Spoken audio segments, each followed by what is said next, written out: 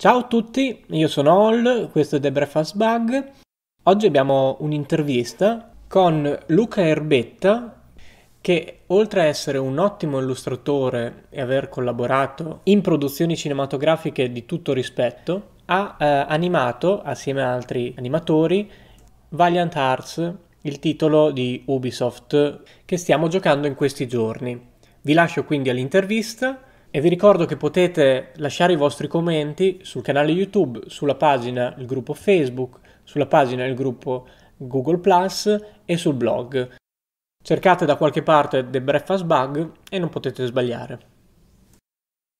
Ti ringrazio molto per, Eh, per l'intervista. Io gestisco assieme a tanta altra gente un canale YouTube e un gruppo su Facebook, su Google Plus, quindi comunque una community che vuole fingere di essere un club del libro, ma con eh, i videogiochi come target. Quindi essenzialmente noi giochiamo, poi vabbè ci scambiamo le nostre opinioni e ci siamo inventati la moda del gioco del mese per dare un gioco da giocare mm, a tutti gli iscritti e per poterne parlare poi il mese successivo e realizzare un, un podcast, quindi qualcosa da mettere su YouTube solo audio e su iTunes e altri formati. Allora sono filmato, aspetta. No, non sei filmato. Non sei ah, filmato. meno male. no, no, tranquillo. E, ehm, il gioco di questo mese era Valiant Hearts, sì. che abbiamo giocato in tantissimi, e quindi niente, mi è venuta l'idea di spulciare un po' tra la crew del, del gioco, eh, ho beccato un nome italiano, ho detto aspetta che io ci provo, poi Inizierei dalle domande di base. La sì. carta d'identità, eh, chi sei? Dunque, sono nato a Roma. A Roma e... Vuoi l'età? 45 anni, invecchia. Ho fatto il liceo artistico a Roma e poi sono partito in Francia e ho continuato gli studi. In... Cioè, avevo fatto pure un... una scuola privata all'epoca che si chiamava Istituto Europeo. Mm. Però ho interrotto a metà e poi sono andato in Francia e ho continuato gli studi artistici in Francia a Strasburgo una scuola che si chiama École des Arts Décoratifs, dove ho fatto illustrazione. Sei da parecchio tempo quindi in Francia? Eh, sì, cioè sono partito che avevo vent'anni. E, e, così, niente, ho fatto questa scuola di illustrazione e poi ho cominciato a lavorare eh, qua in Francia, soprattutto nei cartoni animati. E a me interessava l'animazione alla base. Mm-hmm. E quindi ho fatto prima un po' di animazione al computer quando proprio il computer eh, non esisteva, cioè avevamo il computer di pietra.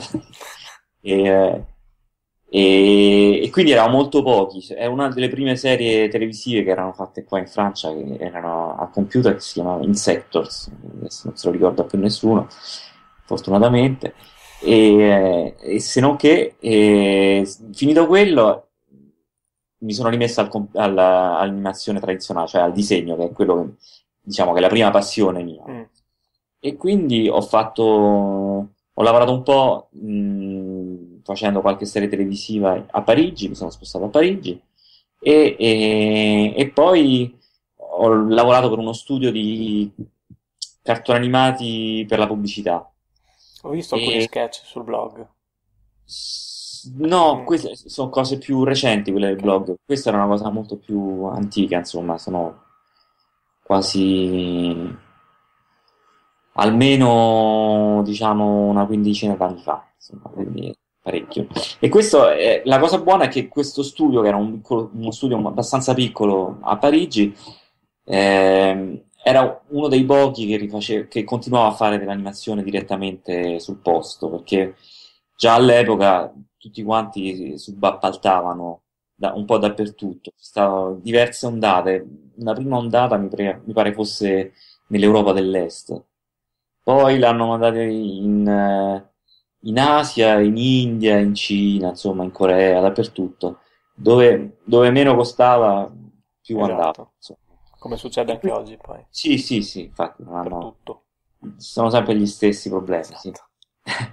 E quindi, e quindi niente, questa, la cosa buona è che appunto facevamo film pubblicitari e facevamo tutto a Parigi. E quindi mi ha dato l'occasione di imparare un po' l'animazione perché in realtà io ho studiato l'illustrazione, ma l'animazione che mi interessava l'avevo fatta così per conto mio, insomma. e, e là c'era gente molto, molto preparata, molto brava, cioè, gente che usciva da, dalla Disney Parigi, allora c'era uno studio di lungometraggi a Parigi, mm-hmm. Prima che chiudesse, insomma. Sì. E quindi così, dopo, tra una cosa e un'altra, sono rimasto là qualche annetto, uno, due anni, due o tre anni. E poi eh, alcuni dello studio sono partiti negli Stati Uniti alla DreamWorks e quindi ho, ho sottoposto il mio book anch'io e quindi così poi alla fine mi hanno proposto un visto e quindi sono andato là e ho fatto qualche film là e alla fine tra una cosa e l'altra l'idea era più o meno di fare un'esperienza e vedere un po' come funzionano gli studi americani di cartoni animati e di lungometraggi perché i lungometraggi non li conoscevo cioè, ho fatto, sempre lavorato in cose molto piccole produzioni che, brevi di qualche settimana, mesi al massimo insomma e così volevo vedere un po' che cosa fosse un grande studio di qualità. E quindi sono arrivato là che avevano finito il mm, Prince of Egypt, il principe d'Egitto, e abbiamo cominciato Eldorado, per cui ho fatto un po' di, di esperienze su Eldorado e poi tra una cosa e un'altra le cose sono un po' prolungate, nel senso che io ero partito così, con l'idea di stare là per un film o due, e alla fine siamo rimasti 7-8 anni. Ah, quindi piuttosto lunga come esperienza. Sì, sì. Ah, senza, senza, accorgercene, insomma. Sono volati. Sì. sì. Eh. Poi eh, la DreamWorks era all'inizio, perché... Sì, sì, eh, ti dico, era il secondo film che facevano e mm, in pratica era ancora disegnato, poi abbiamo mm. fatto, dopo il Dorato abbiamo fatto um, eh, Simbad, no, c'era prima Spirit, sì il cavallo e poi Simbad. E quello è stato l'ultimo eh, film disegnato. È stata proprio la, diciamo, quello che ha fatto finire tutto il dipartimento. Di... Ma eh, sei passato al 3D o comunque al digitale in quel momento? Sì, all'epoca c'era Pixar che faceva successo dopo successo con i Toy Story e compagnia per cui alla DreamWorks so, hanno, hanno, pensato che insomma era il momento di cambiare, che quello, il, il problema era la tecnica, secondo loro. Per cui ci hanno proposto molto gentilmente, tra l'altro, di formarci tutti al, al computer. Mm. Per cui io già un po' conoscevo, anche se non era lo stesso programma, ma insomma, e quindi niente, abbiamo, ci hanno fatto questa formazione di qualche mese, due o tre mesi, e poi abbiamo cominciato il film, questo che si chiama Shark's Tale. Ah sì, sì, gli squali. Sì. sì. E, e, quindi quello è stato il primo film che abbiamo fatto là al computer. Se non che eh, dopo di quello io sono passato alla Sony, sì. che stavano aprendo un dipartimento animazione, e eh, per fare un film che si chiamava Open Season Boogie Elliott, quello, sì, quell'orso. Eh, eh, sì. Bravo, sì. Ho studiato il manuale di Maya su quello. Me lo ricordo. Quello è il, il, film, sinceramente, il film più bello su cui ho lavorato. A me è piaciuto molto. Anche se per diversi aspetti anche Spirit è stata una bellissima esperienza, però il film eh, in se stesso veramente Boogie Elliott è quello che trovo il più carino, insomma. Mm. Comunque, era simpatico, veramente. E quindi, se non che dopo, dopo questo film, eh, dopo questo film siamo rientrati, nel senso che in quel periodo alla Sony avevano preso molta gente perché pensavano di averci tanti film da fare contemporaneamente. E se non che eh, la realtà è stata diversa, nel senso che a un certo punto molti film sono cappottati, per cui si sono trovati con troppa gente sulle braccia e, e, quindi hanno cominciato un po' a licenziare. E quindi io eh, poi alla fine ho cercato un po' a destra e a sinistra, ma comunque avevamo dei visti temporanei, quindi. per cui poi avevamo figli, cominciavano a crescere, insomma, due figli, e si poneva il problema di vedere se rimanere in America oppure tornare. Poi anche mia moglie aveva voglia di tornare, per cui siamo tornati. In Francia. E quindi così, e se non che poi siamo tornando in Francia, ho fatto, sono tornato un po' a lavorare a Parigi, facendo un po' sempre eh, pubblicità, videoclip, cose così, animazione sempre eh, al computer. E poi ho fatto una breve parentesi mh, mm, nell'insegnamento, in scuole private insegnando animazione disegno, e il che ci ha portato qua a scendere nel sud della Francia, che è qui a Montpellier, che è sinceramente eh, per noi la soluzione migliore, nel senso che a livello del clima è molto mediterraneo, è più simile a, al clima italiano che romano. E poi sai, avendo passato 7-8 anni a Los Angeles, che sono stati 7-8 anni di estate totale, sì, solo al sole, a Parigi è dura, insomma, perché è molto grigio, c'è molto, eh, fa freddo, piove, eccetera. Per cui, diciamo, anche poi è una grossa città, molto frenetica, molto un po' nevrotica. Per cui, sinceramente, per, anche per i figli, eccetera, pensavamo più o meno che scendere un po' al sud sarebbe stata una buona soluzione. E quindi ho fatto un po' di insegnamento qua al sud e poi mi sono un po' scocciato, per cui ho ricominciato a fare illustrazione, animazione, un po' a destra e a sinistra, un po' a distanza. E eh, poi qua a Montpellier c'è questo studio, grande studio di, di, videogiochi, che per me è stata una prima esperienza, nel senso che la, la, l'industria dei videogiochi non la conoscevo per niente, anche se eh, diciamo la vedo da lontano, che sono un giocatore molto saltuario, insomma. Però, insomma, il, la parte, diciamo, grafica è comunque fa parte dei miei interessi, per cui... È in quella sfera. Sì, sì, sì. Anche poi ho molti amici che lavorano eh, direttamente in questo settore. E quindi così, eh, c'è stata questa opportunità. Prima mi hanno contattato per fare una prova su un altro progetto che poi alla fine non è stato, non è andato avanti. E se non che poi è, è venuta fuori questa, questa cosa di Valiant Art che sinceramente a me piaceva molto, nel senso che dal punto di vista grafico mi interessava molto e eh, soprattutto perché la direzione artistica di Paul, Paul Tumler eh, era molto simile a, a, un comics, a un fumetto. Sì, infatti è, è molto fumettoso. Sì, fumet- precisamente. Chiaro, fumettistico. Infatti e... si presenta bene anche su palmari, su tablet perché sì, sì, sì, sì. È pulito. Infatti, eh. adesso io non l'ho mai visto eh, su, sui computer, eh, questi, tipo PC, eccetera, però sinceramente penso che sia un gioco più adatto al tablet che altro. Però... No, ma ti dirò, rende decisamente bene anche su PC. Sì? Perché io l'ho giocato su un 24 pollici, 16 noni ah. e, e, fa la sua porca figura. No, è proprio bello. Ah, bene, bene. Perché comunque c'è tanto dettaglio in ogni singola sì. immagine, quindi sì. vedere tutto più grande non, non perdi di qualità, acquisti solamente profondità dei dettagli, numerosità dei dettagli. Sì, sì, infatti per me è stata veramente una, diciamo, attirante, nel senso che permetteva una transizione in, diciamo, eh, tranquilla, diciamo, una transizione nel, gioco, nel videogioco eh, in un angolo che mi interessava particolarmente, insomma. Sì dal punto di vista creativo, eccetera, è stata sì. proprio una, un'esperienza buona, insomma.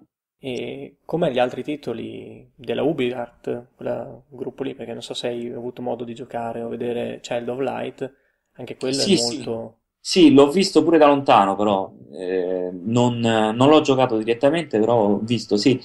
C'è questa, questa specie di sensibilità, non so se sia una sensibilità o se sia un, una prova che stanno facendo per, per raggiungere un, un, mercato che è un po' differente dal, dal mercato dei grossi sì, titoli. Assassin's Creed, eccetera. Sì. Diciamo che per l'impatto del progetto, quindi comunque un team decisamente più piccolo rispetto ai grandi sì, sì, certo, Ubisoft. Certo. Il budget è, è, è, ridicolo rispetto a... bene. Premi, eh, ha vinto recentemente due eh, premi. Quello che... che dirti, sì, sì, da questo punto di vista c'è stata una certa riconoscenza internazionale con premi. Diciamo che il settore l'ha accolto abbastanza bene. Adesso non so se economicamente eh, sia un, un, titolo che sia molto redditizio oppure no, questo non te lo so dire. Però in ogni caso è un, è un titolo, diciamo, prestigioso. Decisamente, sì. Adesso bisogna vedere. Credo che l'ultima cosa che ho visto è che era nominato anche in, in un titolo che in, in un premio che si chiamano gli Annie Award, che sono in pratica gli Oscar dell'animazione eh, hollywoodiana, insomma. Erano, e c'erano tre titoli nel, nel settore dei videogiochi, c'era Child of Light, Valiant Heart e l'altro non mi ricordo più, che era un grosso titolo però. E vabbè, insomma, così. Quindi, tutto sommato, sì, eh, sono stato contento di, di esplorare un po' il settore e di vedere un po' come funziona, perché ti dico, io ero completamente ignaro rispetto al, al mondo dei videogiochi. E, e poi mi ha permesso un po' di giocare. e- Che non è male.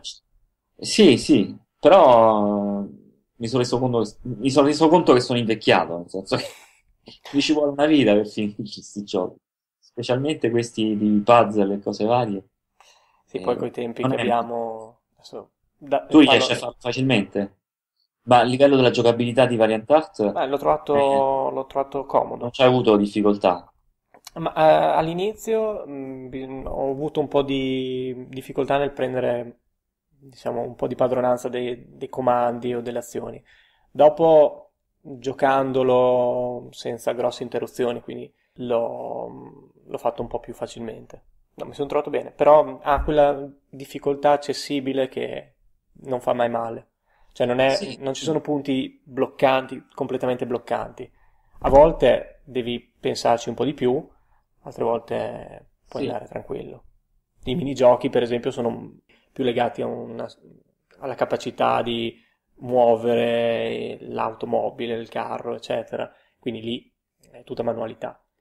Altri punti, i puzzle, sono un po' più tosti.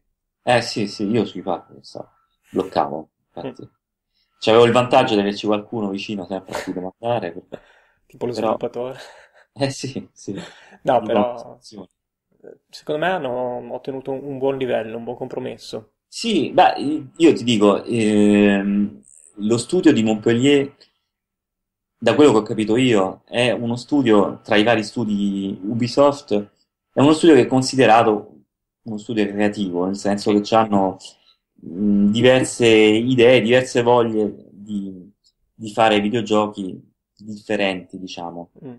E per questo hanno una, una, diciamo, un posto a parte rispetto alla costellazione dei vari Ubisoft. Sì, si sono creati questa nicchia di Sì, videogiocatori. sì.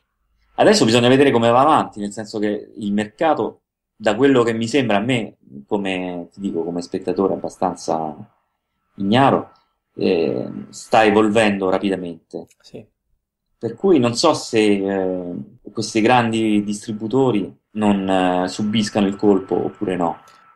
So, secondo me eh, la gente sta riscoprendo il fenomeno indie, che comunque porta il gioco più su un aspetto ma, di team piccoli, ma un aspetto narrativo, quindi la gente comincia a cercare qualcosa di più del semplice muoviti e spara, no? Dei titoli grandi Ubisoft, che comunque venderanno sempre di più perché comunque raggiungono un mercato più ampio. Però Sì. c'è una grande, un gran sottobosco, almeno europeo, adesso non so com'è la situazione fuori, che si sta mh, affezionando. Ci sono anche degli eventi nuovi che eh, prima non esistevano, nuovi premi dedicati solo al mondo indie, tantissimi portali. Ma io penso che la, la cosa sia lo stesso negli Stati Uniti, eh. Sì. E- mi sembra. E, e mi sembra anche che questo fenomeno poi sta- stia aprendo dei, ehm, degli spazi ad un pubblico nuovo per il videogioco, Esatto, non sono i, i- i gamers, quelli hardcore. accaniti, insomma, puri e duri, Sì, no, infatti. vivono qua. E, per cui sì, è un- un- tutto un mondo un po' in evoluzione, in ebollizione, per cui bisogna vedere come, come quello che succederà. Sì. Comunque, in ogni caso, penso che sia abbastanza positivo. S- s- dal punto di vista, diciamo, eh, egoistico mio, eh, mi sembra che eh, il mercato del videogioco sia un mercato molto più dinamico attualmente che eh, quello dell'animazione, per esempio. Anche, non so, eh, diciamo che almeno fino adesso, nel, dal punto di vista dei videogiochi, c'è un po' meno questa tendenza a mandare a destra e a sinistra. Sì, ci, ci può essere un po' con le scene cinematiche, mm. e... però diciamo, i... mi sembra, eh, poi ti dico, io non è che lo conosca benissimo, per cui non è che sia il, il, il più qualificato per parlarne, però mi sembra che ci sia diciamo, più possibilità di produrre eh, un progetto completamente dall'inizio alla fine che non un, uh, dei progetti di animazione in cui... Divisi, spezzati. Sì, anche poi... Beh, diciamo che i budget adesso come adesso sono comparabili, anzi a volte sì. i budget dei videogiochi sono anche più, più onerosi che quelli dei film. GTA 5 ha dato una dimostrazione, ha incassato eh, anche più di un film eh, sì, hollywoodiano, certo, quindi vogliamo... Certo, sì, certo. Però... però sì, no, il mercato è incomparabile. Però ti dico, dal punto di vista nostro, di quelli che lavorano, eh, diciamo, in questo settore, eh, è chiaro che è abbastanza motivante perché vediamo che, che ci sta una certa dinamica, insomma. E anche poi in Italia purtroppo il, il, il, mondo professionale lo conosco poco, cioè ho lavorato un po' in Italia ma pochissimo, e soprattutto in pubblicità, mm. per cui non so esattamente adesso come siano le cose.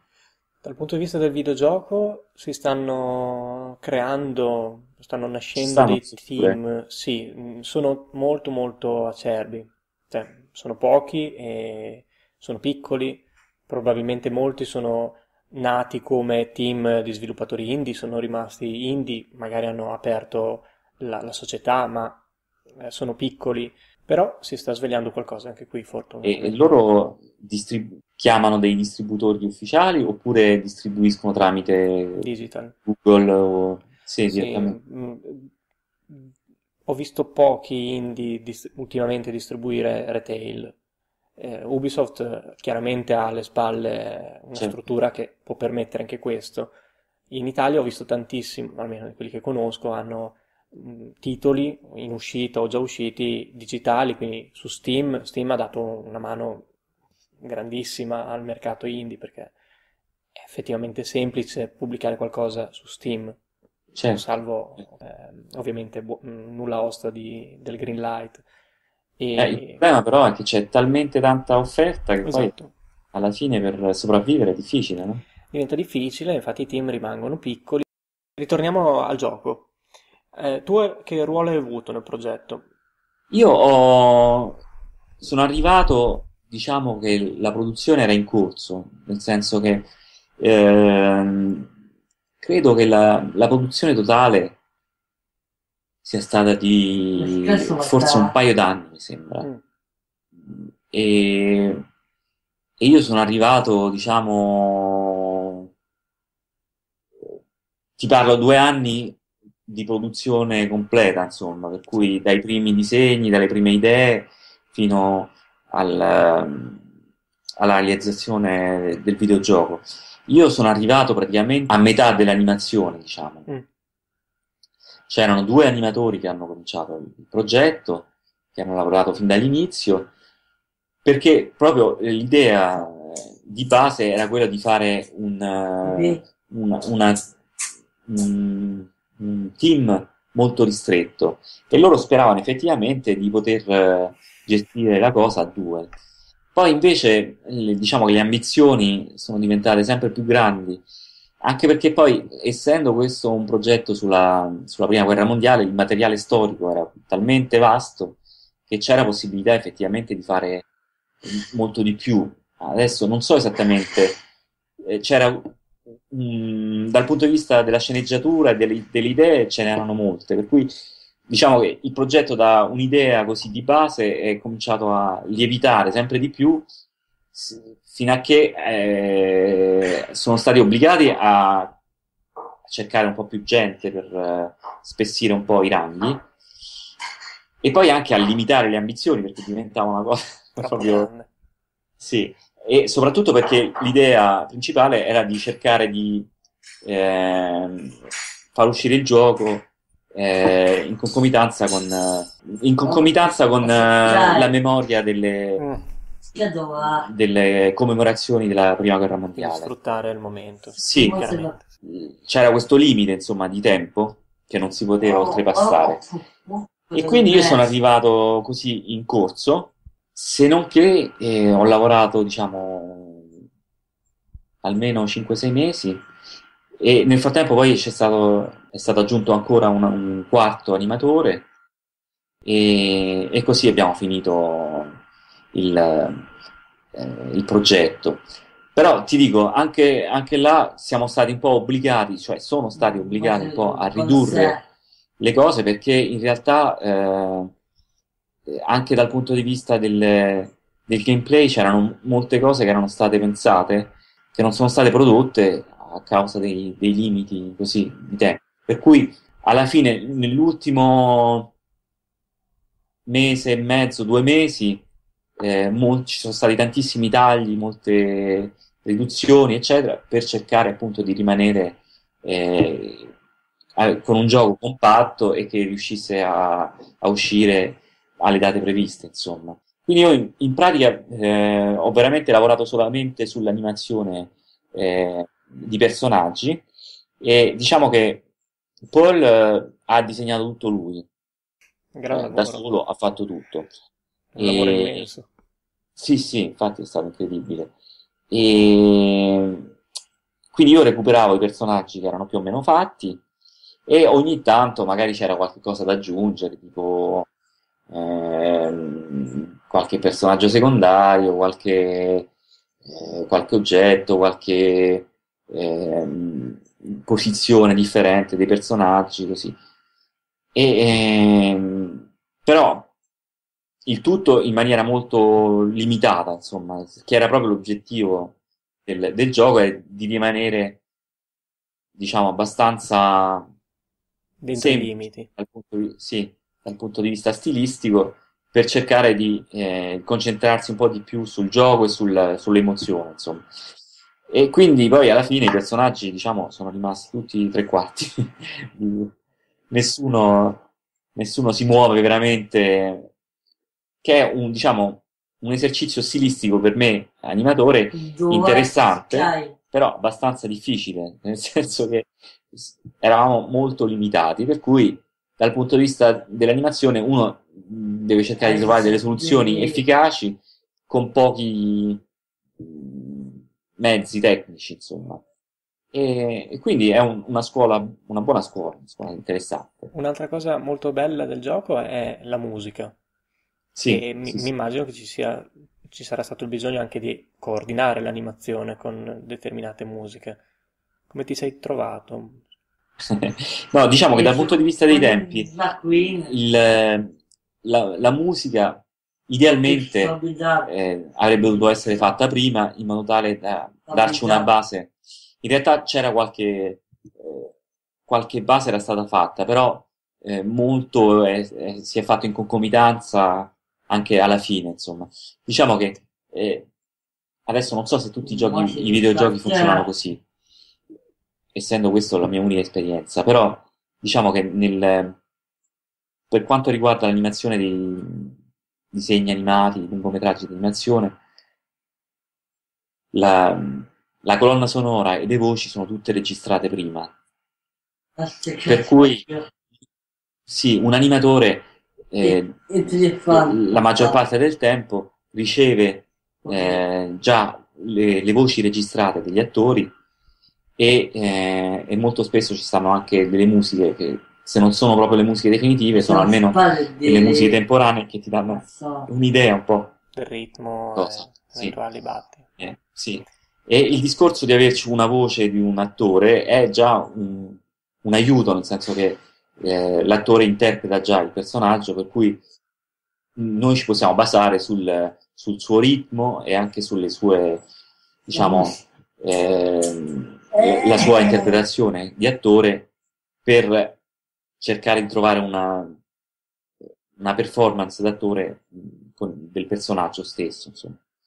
E in questo caso, invece, per questo videogioco qua, E il discorso invece non è andato così, nel senso che è stato più o meno fatto in concomitanza oppure post prodotto in sono più adattati loro alle animazioni sì, sì. essendo dico una, un, essendo stata molto frenetica la, la fine del progetto eh, ci siamo dovuti adattare gli uni gli altri a fare del, del meglio con quello che c'era in poco tempo impossibile e um, hai un elemento un personaggio che ti è rimasto nel cuore qualcosa che ti è piaciuto molto? Sì, mi sono divertito abbastanza a fare il, ehm, il generale austriaco, quello che si fa... Il barone von Dorf. Ah, von Dorf. Esattamente, bravo. Sì, sì. sì. È, sì. È, Poi... è, veramente bello quel personaggio, è divertente. Carino, sì. È sempre lì che brontola, che urla, che sbraita. Eh, gesticola molto, per cui dal punto di vista dell'animazione ti permette di fare abbastanza cose, cioè eh, c'hai abbastanza margini di manovra, insomma essendo poi questi tutti questi personaggi di silhouette, eh, più i movimenti sono ampi e più è semplice far passare un messaggio. L'animazione più sottile è, è complicato. e poi mi hanno dato pure qualche effetto speciale da fare così, provare. Pure quello era divertente, però Sai, quella è, una, è, tutta un'altra specialità che io conosco poco. È interessante perché mi ha dato la, così, diciamo, la, la possibilità di, di, provare. Però eh, per farlo seriamente ci sarebbe voluto più, più tempo e più competenze. sì. sì, anche se poi ti dico, l'altro animatore che è venuto poi dopo, lui aveva fatto gli effetti speciali di... Eh, come si chiama?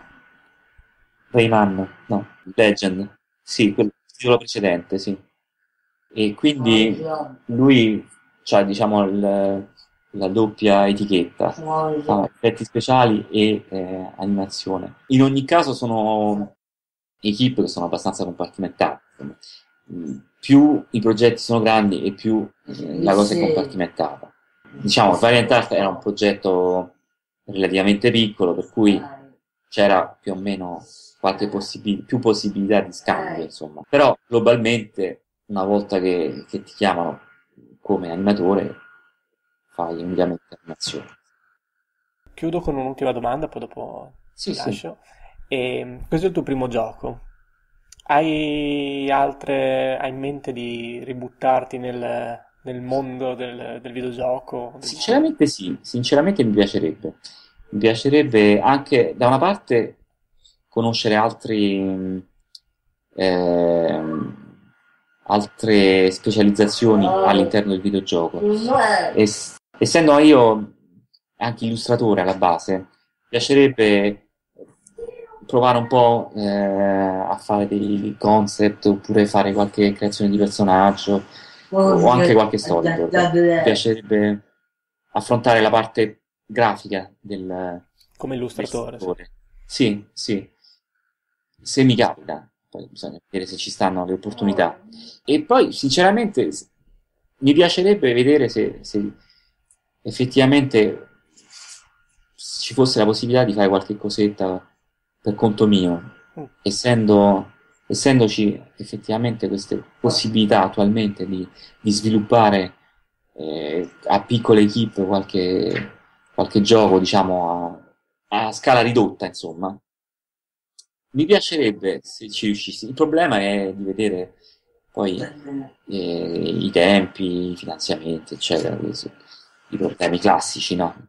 Di tutti. Sinceramente è un'esperienza che mi è piaciuta molto e se potessi la rifarei volentieri. Anche perché ti dico, mi sembra che eh, attualmente ci siano, eh, a parte che sia un settore molto creativo, e, e poi e ci siano molti approcci differenti anche dal punto di vista grafico dei videogiochi e molti li trovo stimolanti e interessanti e, e, e questo mi, mi, attira molto insomma la, diciamo la, le differenti, la differente creatività di tutti questi progetti specialmente i progetti indipendenti eh. li trovo molto, molto maturi nel senso che molti progetti abbastanza cartoon abbastanza grafici, eccetera, sinceramente mi piacciono molto e, e, sono un modo anche per me per ritrovare un po' le, le radici della mia passione, insomma, un modo di combinare insomma differenti, differenti aspetti, differenti passioni. Adesso vediamo quello che succederà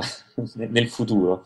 Adesso sembra che Ubisoft siano un po' sulla riflessione, nel senso che stanno pensando che cosa faranno. Va bene, io mm, ti lascio la tua vita. Ti ringrazio, sei stato gentilissimo. Niente, figurati, figurati. Prossimamente, vediamo su questi schermi. Ciao.